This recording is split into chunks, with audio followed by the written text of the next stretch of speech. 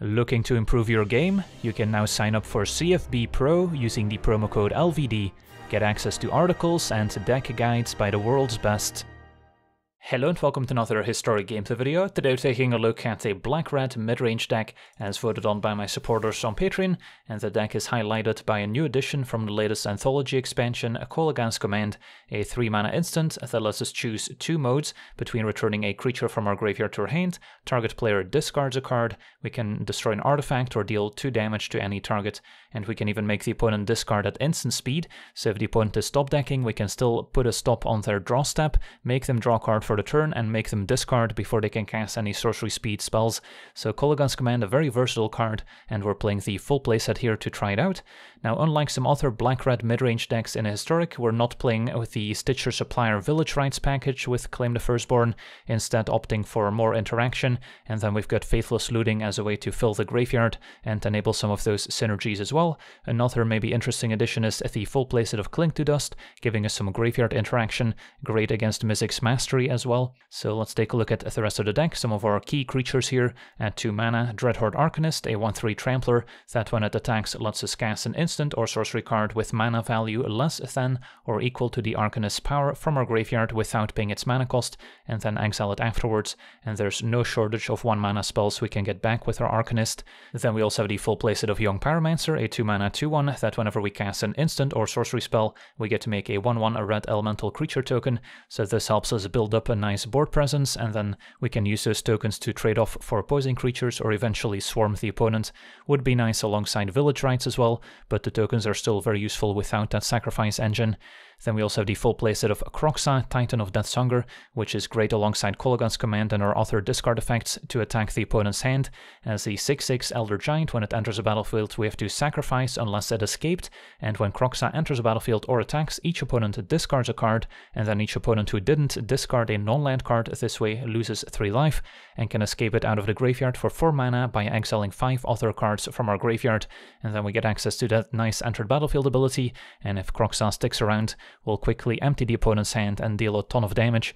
And then we also have Lurrus of the Dream Den as our companion, which can get back all these various 2 mana creatures that can provide a ton of value over time. And then Kolaghan's Command also way for us to potentially get back Lurrus from the graveyard. So we've got a very nice recursive engine going on. Then taking a look at some of our 1 mana interaction, we have 6 discard spells with the full playset of Thoughtseize and 2 copies of Inquisition of Kozilek. Then we've got some cheap removal with the full playset of Fatal Push, which we have the two copies of Fabled Passage as nice ways to enable Revolt, and the elemental tokens from Young Pyromancer are also good ways to enable it.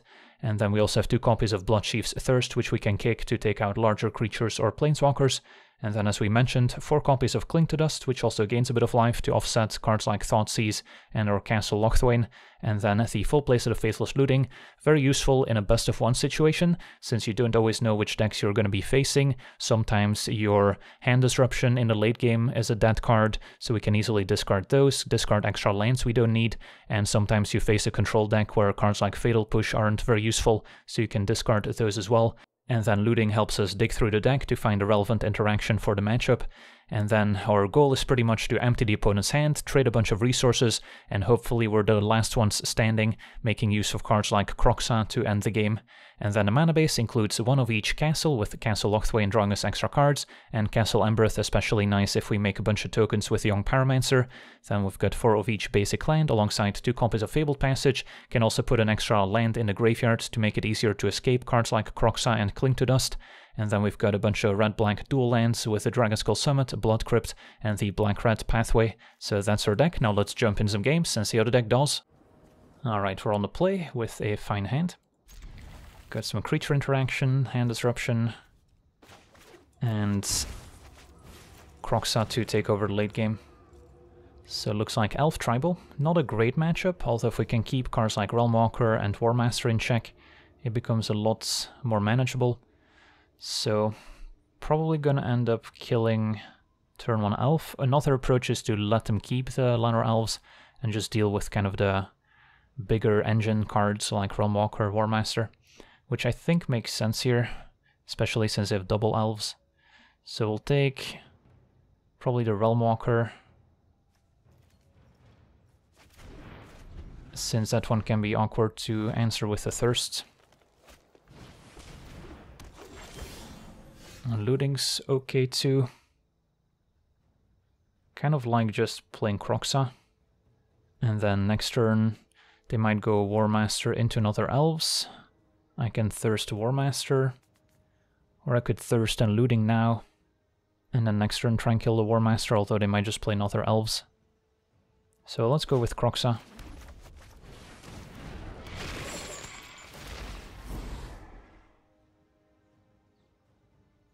Wouldn't be able to double Thirst next turn since we don't have double black. Opponent discarded an Elves, that's fine. Right, goes for Marwyn, that makes sense too. Well, we do have a way to enable Revolt now. With the Fabled Passage, so that's a way to kill Marwyn. And then I don't really need to looting since all my cards in hand are good. So I'll probably wait on it.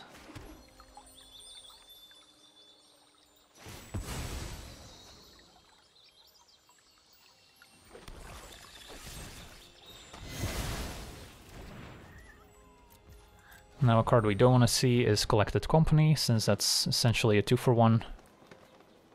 But we're slowly filling the graveyard for Kroxa. And the board is still not out of hand. Right, Warmaster I'll happily take out. And then we'll put Lurrus in hand here. Alternatively, we can looting to be guaranteed an escaped Kroxa next turn, which is also appealing since it applies the most immediate pressure. Arcanist is a good one, so I can discard the two 1 mana spells, play Arcanist for the turn. And we still leave a few cards in there to replay with Arcanist.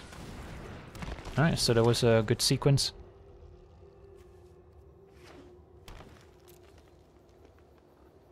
Opponent's got two unknown cards in hand. Although we can make them discard one with Kroxa before we attack. And looks like it's probably a collected company. So I don't have to attack with Arcanists.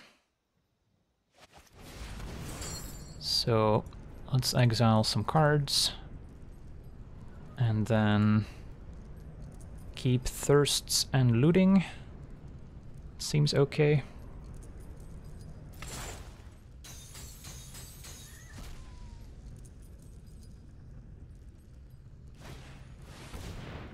Company response.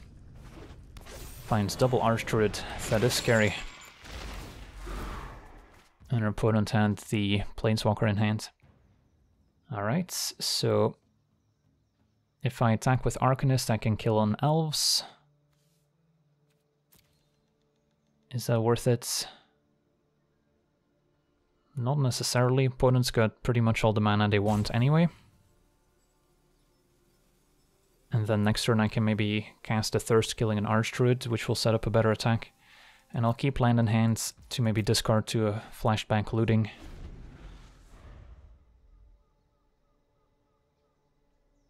So don't want to see Company. Warmaster is actually annoying too, since they can activate the ability. So that was one of their better draws.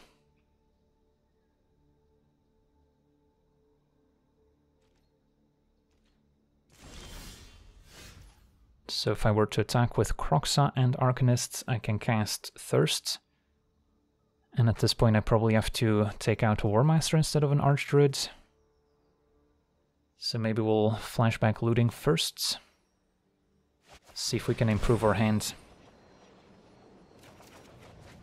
Fatal Push and Cling, those are both good.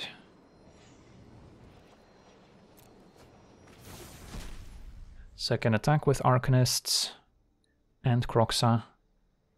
Flashback the Thirst on Warmaster. Some traits will happen and then we can Fatal Push an Archdruid second main. Seems acceptable.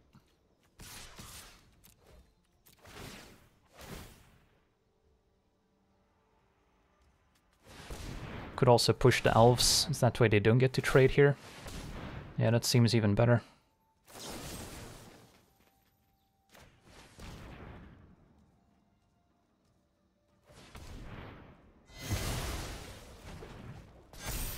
So they get to keep double Archdruids, but they lose the rest.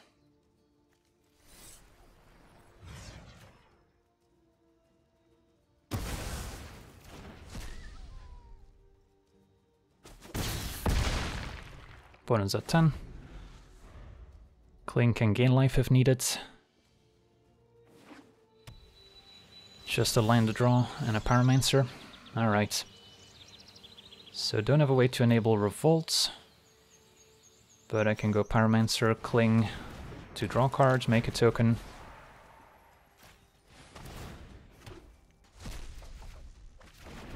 And then we can replay Cling with Arcanist if we want. Since they're probably forced to block Kroxa. Fatal push is not gonna do it. And draw another card.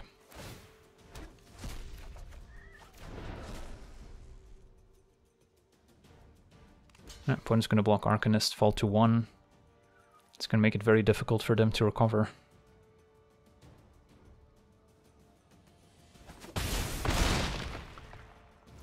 Don't really see them coming back at 1 life. Even if they hit the best company ever. Alright, GG's. So we managed to dismantle the elf deck, was still pretty close and needed some lucky removal spells over the top. On to the next one.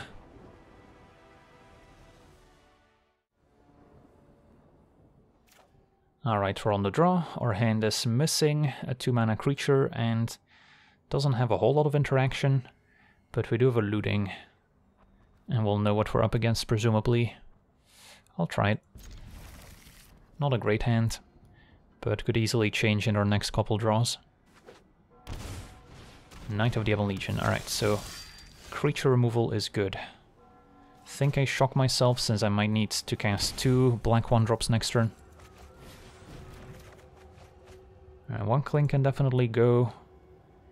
Probably just two of them. And then if something bad happens to Arcanist, we can still get it back with Command. Command can also kill a Knight of the Ebon Legion. So they might just take the Kolaghan's Command here. And then hopefully Arcanist sticks around. Right, they took the Arcanist instead, so that removes our play for next turn a little bit. But we can still cling. See if we pick up some one mana interaction. Which we did not. We'll just play tap land then. So they could decide to pump the knight so it doesn't die to Kolaghan's command. Although we can still make him discard and get back Arcanist, which is a fine play. And all our black removal spells can kill the knight, no matter how large it is. Arcanist to draw. Yeah, I guess we'll just play Arcanist then.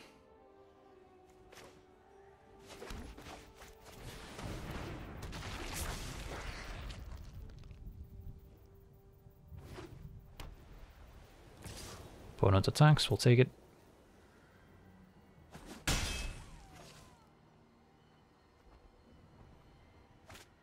And a Bishop of Wings. Okay. Can attack with Arcanists, and then probably replay Looting, since we're looking for some removal here.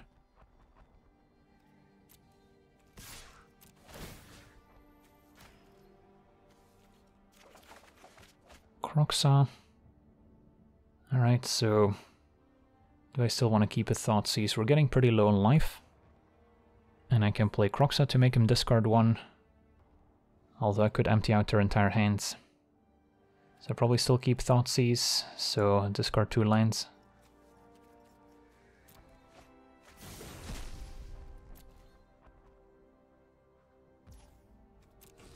And then we want to Thoughtseize first, because if they have a land and a spell, this way we can take both. Alright, double Resplendent Angel would have been scary. So opponent with an interesting black-white angel deck with knight. So they probably have a veto in there. So right now knight is kind of the only threat we need to worry about.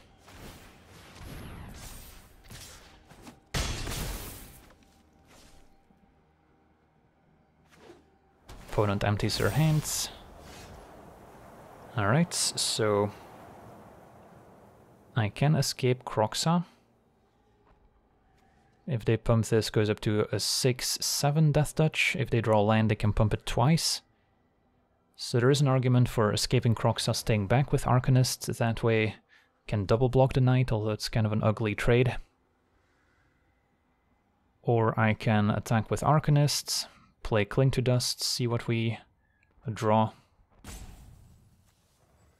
And I'll have to exile my own spell if I want to draw a card here.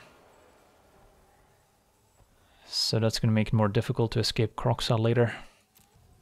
I think escape Kroxa and stay on defense is still viable, and just hope they don't draw a land. And then don't need Thoughtseize anymore. Arcanist can go.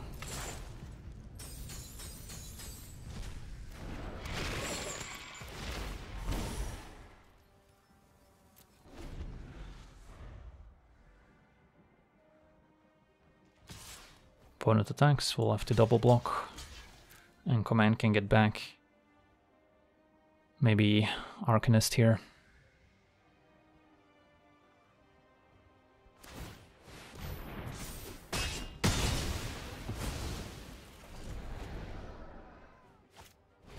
And a Thought Thoughtseize takes command. Alright, we're top decking, but we have a Lurrus as well we can use. So not in terrible shape.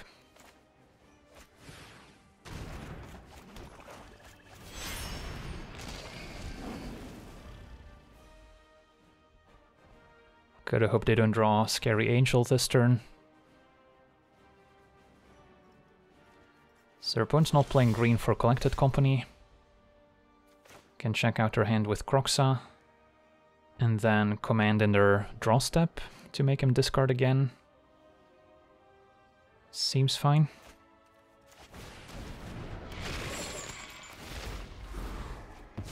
They had an Emeria's Call. And then I can even attack with Lurrus to gain 3. Could also pump with Castle. It's even better. So no Kolaghan's commands in their draw step.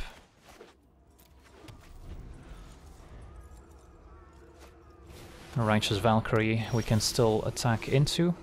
And if they trade for Lurrus I can command it back. So that seems fine.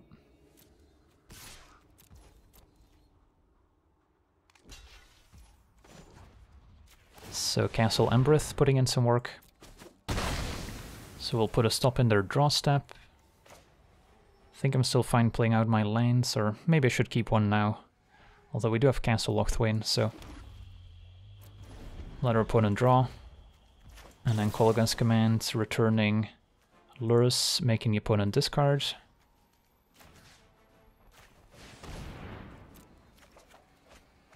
And they were about to play a Retribution, so happy we made them discard it. Inquisition is a dead card, so hopefully we can discard it to a looting eventually. So, yeah, we'll just play Lurrus and play Arcanists. Could cast Inquisition just to empty my hands and put an extra card in graveyard for Kroxa. Seems okay. And then I can start using Castle without losing too much life. Can Kroxa first to check out if the coast is clear.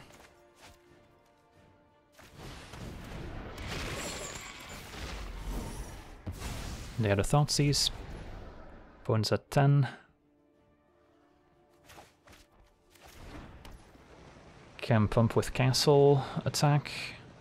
Can escape Kroxa. It's probably better.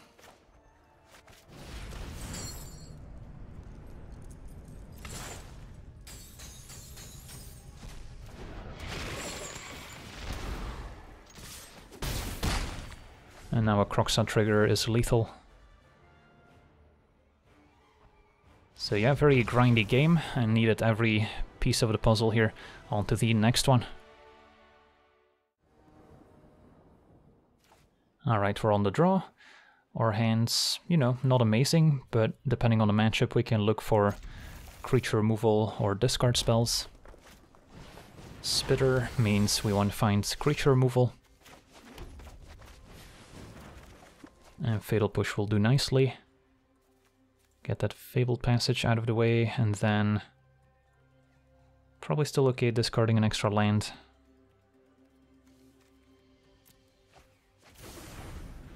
Turn 2 Arcanist, turn 3 Pyromancer Fatal Push maybe?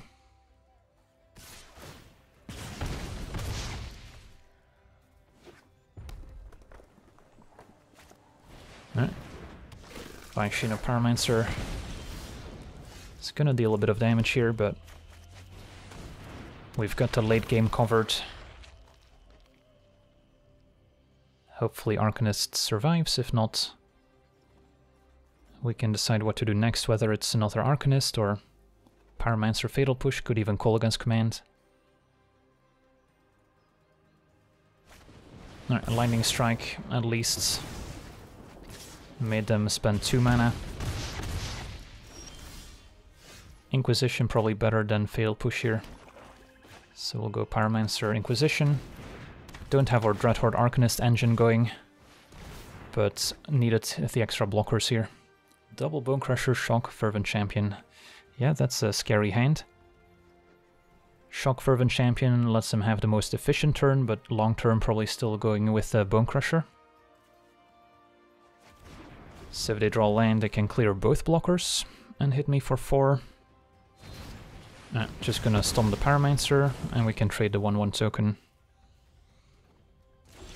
Alright, opponent decides to stay back instead. So yeah, Arcanists is likely to survive. Cling to Dust can gain life. So starting to stabilize, slowly but surely. Although Bonecrusher as a 4-3 is a pretty big roadblock. So if we still had Fabled Passage to enable Revolt, that would have been useful. Can maybe finish off the Bonecrusher with a Kolaghan's Command. And then Given that we're still at 12, I'm okay drawing instead of gaining 3. Another Arcanists. Make that all four Arcanists. Say I can attack, replay Inquisition, and then if they block with Bonecrusher I can finish it off with a Kolaghan's command, and maybe make them discard again. Shock Fervent Champion Torbran is scary. Let's take the shock.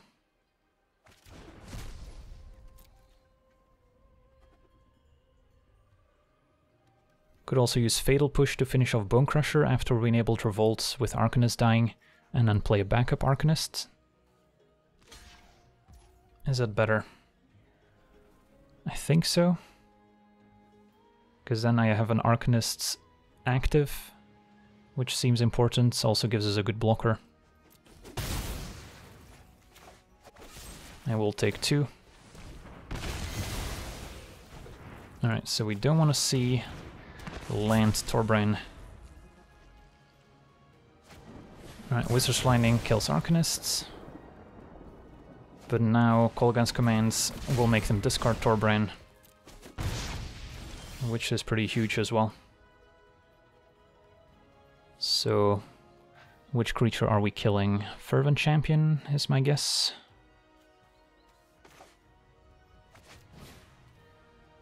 So two damage, discard.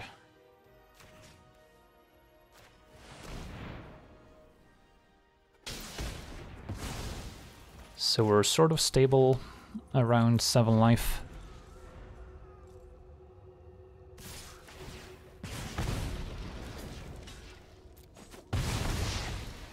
And we still have an Arcanist in hand, a few cards to flashback, and a Lurrus we can access. Kroxa the draw, so Arcanist Kroxa looks good.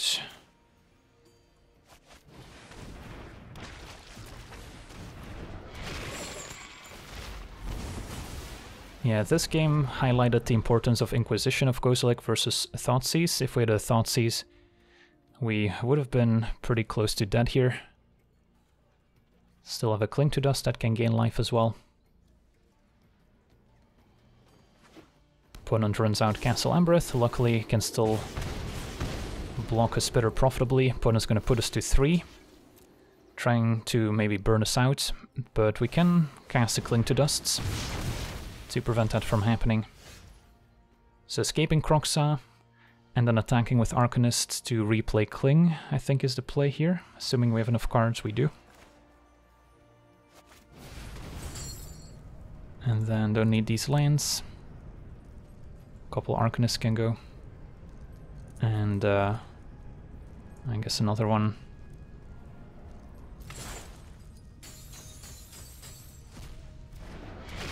So now we have a win condition in play.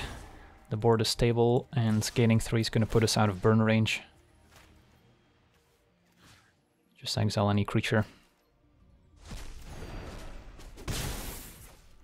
Keep land in hand to maybe discard to looting.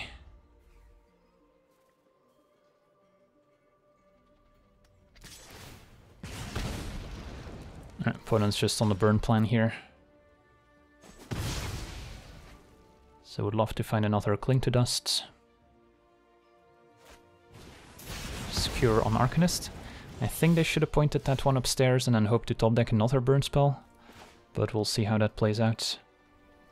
And then could try and get Lurrus online next turn. It's probably going to be too slow to connect with Lifelink before it's relevant. So I'd rather flashback looting and look for something like a Pyromancer.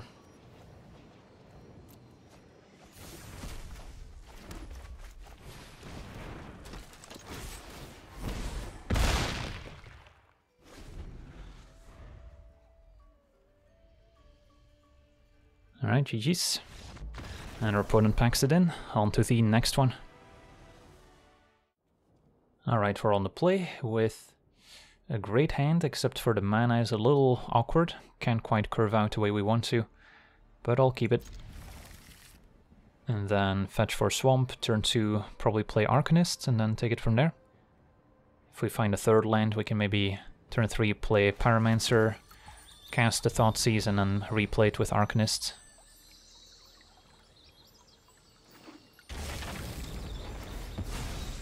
Opponent on a Mardu deck.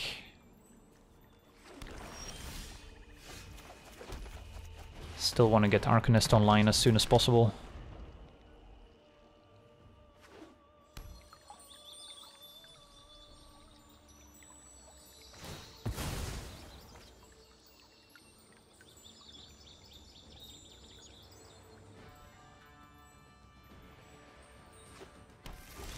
Alright, land is good. So Pyromancer into Thoughtseize. It's gonna hurt a little bit, but if our opponent's a slower deck, it doesn't matter if we lose a bunch of life. Alright, so it's a Mizzix Mastery combo deck. And for now we'll take Thrilling Discovery. And then probably take the Mizzix Mastery as well. Don't have to flashback Thoughtseize, but since we have another one, seems worth it. Make an extra token as well. Leave them with a bunch of expensive cards that don't really do much by themselves. This would be a spot where finding a looting to discard Fatal Push and Thirst would be useful. For now... Yeah, don't really see reason to Thoughtseize. Can put Lurrus in hand or play another Arcanists.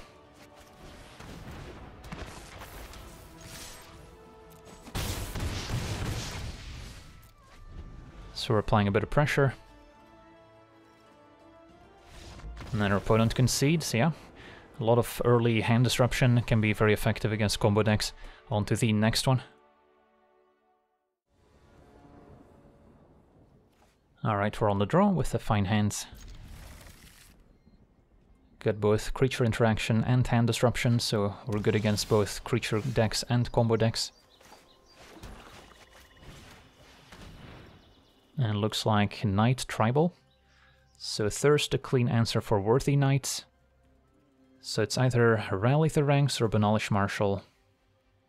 Benalish Marshal's a little tricky to kill. If they play Rally, I wouldn't be able to kill a Knight with a Kolaghan's command, for instance, but we can still Thirst it. So I think Benalish Marshal is a pick.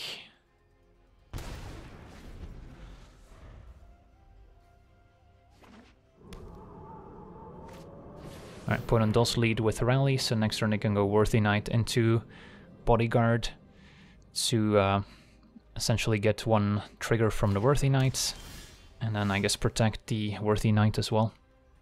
So now we can Kroxa.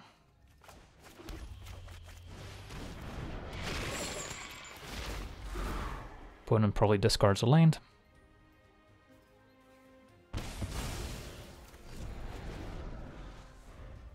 Then we can use Kolaghan's command to kill the bodyguards. Ah, opponent just taps out for Worthy Knight. I guess their land came into play tapped. So now Thirst looks good. And then looting is probably fine too, since we're stacking up a few lands we don't need. Another Thoughtseize and Kroxa. Probably keep the Thoughtseize and discard the land. And then again Thoughtseize plus Thirst. And a history we definitely want to take. Alright, so we successfully emptied out the opponent's hands and we're ready to escape a Kroxa, so all according to plan. A Worthy Knight off the top is unfortunate. So now the play is probably could go for Kolaghan's commands, kill Bodyguard, make him discard in their draw step, or I can just escape Kroxa, which is probably better at this point. And then leave the looting in there.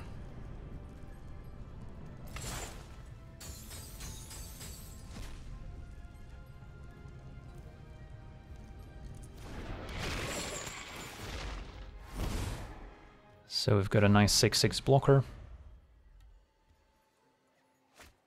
Another bodyguard off the top. So I don't know if we're in a position where we can race, since our opponent can easily jump with 1-1s and then attack back, but now with the Pyromancer we're in business.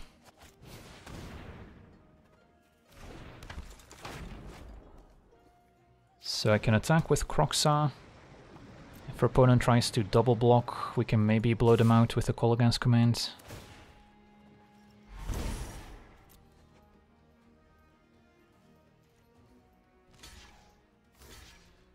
Alright, so I can kill a bodyguard. The second mode, I guess, is not very useful since there's no creatures to get back. So we'll just make the opponent discard a card. Still seems worth it to keep Kroxa in play. And I guess the bodyguards are both protecting worthy knights, so they can't even sack a bodyguard to protect the other bodyguard like you can with a selfless savior.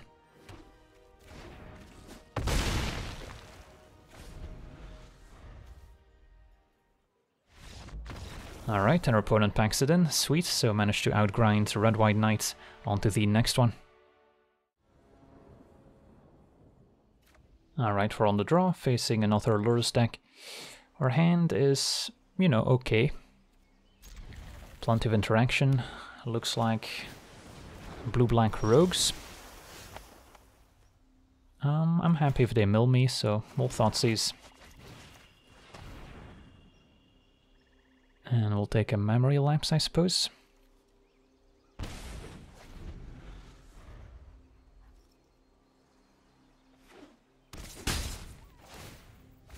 Mills a Pyromancer, which I can maybe get back with Lurrus eventually. And do I want to Thoughtseize again?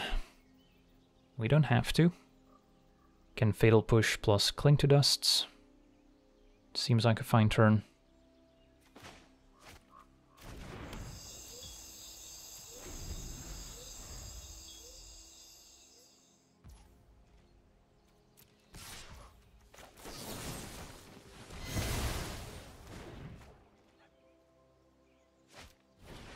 Ruin Crab to mill me. So that's going to enable the domination potentially.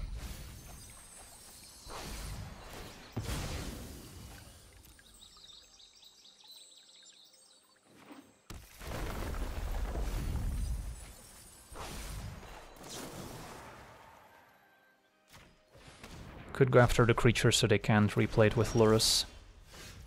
But uh, just want to draw the extra card. So we can Thoughtseize plus Kroxa.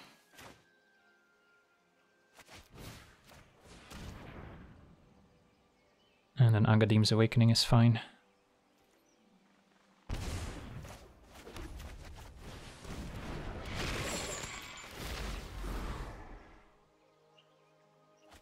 Opponent keeps Fabled Passage to mill me for 6, although the Rogue's deck usually doesn't win by milling.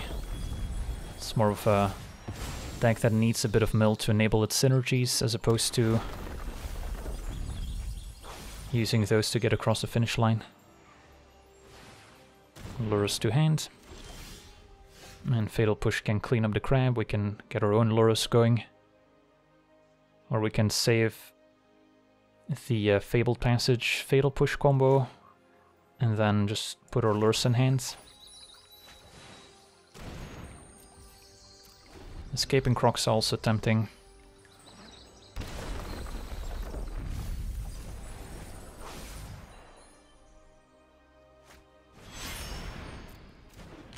So they can replay their 1-1. Alright, so... Get to kill Lurrus before they get value from it, which feels nice.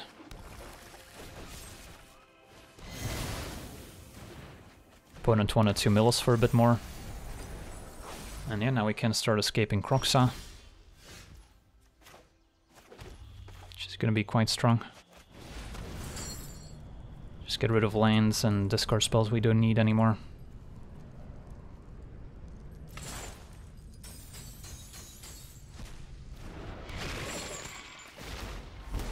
Still 28 cards remaining, so unlikely to die to mill.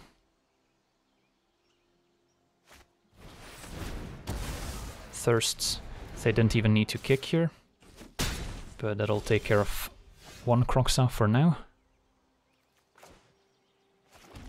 Could also play Lurrus, replay a Young Pyromancer for instance, which is good value. Or we can escape a Kroxa. And that's my entire turn. Probably still escape Kroxa.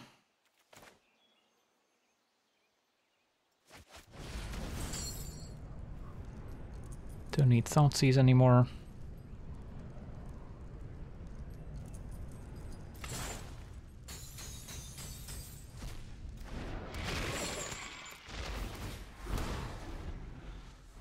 They can activate their castle as well to draw another enforcer.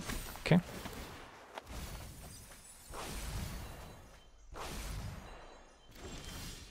Young Pyromancer off the top.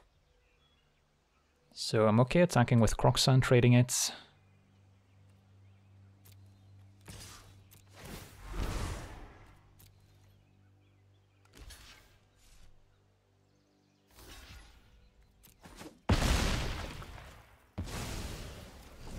Now I think I do play Lurrus Pyromancer and then replay Kroxa for 3 damage.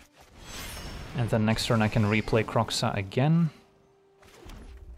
And if they're empty-handed, they're just dead, because we can both play it and escape it.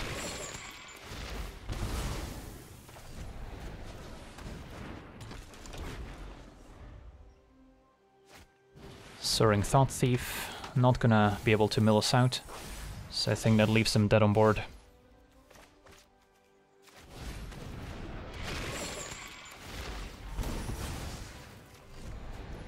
Escape, and doesn't matter too much what we get rid of here.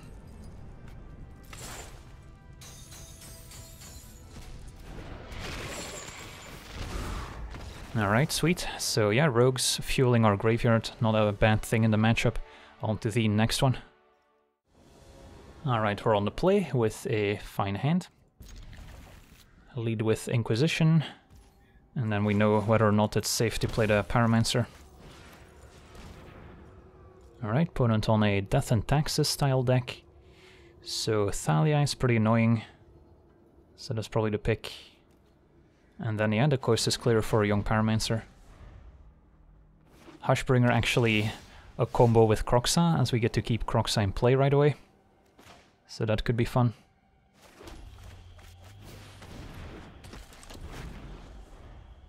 And then next turn we'll Thoughtseize and have another look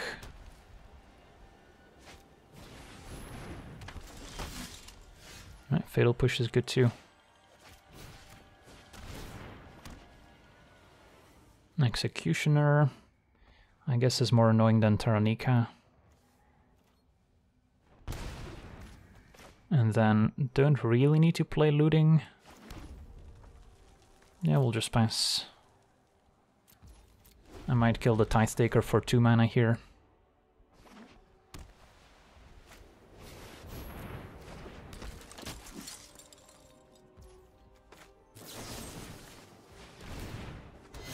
But at least now the Afterlife token couldn't attack. Thirsts. If we have one more mana we can play with Kicker to take out Taranika. Still don't know if I want to cast a looting, since again my hand's good, so I can just put Lurrus in hand maybe.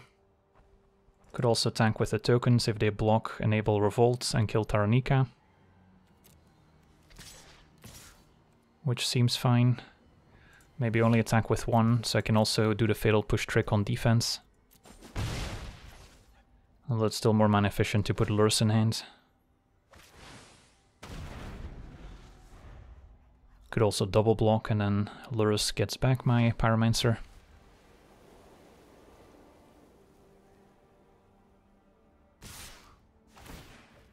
Yeah, double block isn't bad here. Could get punished by like a Sigrid.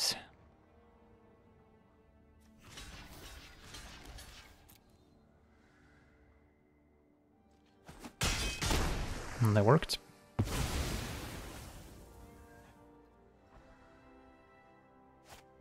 Hushbringer. So if we find a Kroxa, we're gonna be happy. And Giant Killer. Okay. So can play Lurrus, maybe kill the Giant Killer.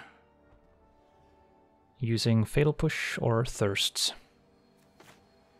Could also wait to get the Pyromancer and play Thirsts. Although I imagine Giant Killer is worth killing long term as well. Yeah, let's uh, use a Fatal Push and keep Thirst for larger creatures potentially.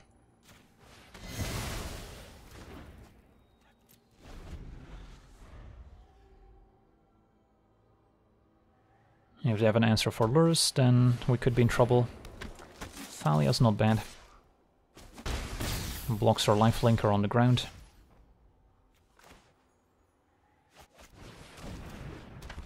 So probably fine to kill that. Attack for 4.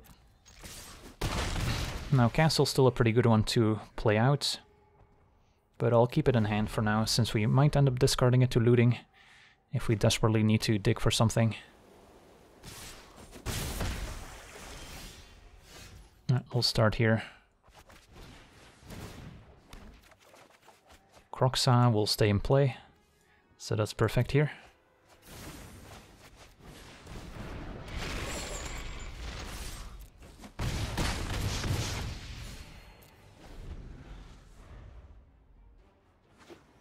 and our opponent flooded out a bit in the end. But that's also the advantage of looting, letting you discard lands in the late game. Alright, so we got to see our Rakdos midrange deck in action, and this is definitely a playstyle I personally enjoy. Having plenty of interaction, discard spells removal means that no single matchup feels unwinnable as long as you draw the right cards. So definitely a very rewarding playstyle as you'll get a lot of decisions throughout the game. So usually feels like you've got some sort of agency over how the game's gonna play out. And uh, yeah, that's definitely something I enjoy in Magic. So that's going to do it for today's gameplay. Want to thank you for watching, hope you enjoyed, and as always, have a nice day. I also want to thank all my patrons for being part of the channel, and you can become a patron yourself today and decide the topic of future videos over at patreon.com forward slash legenvd.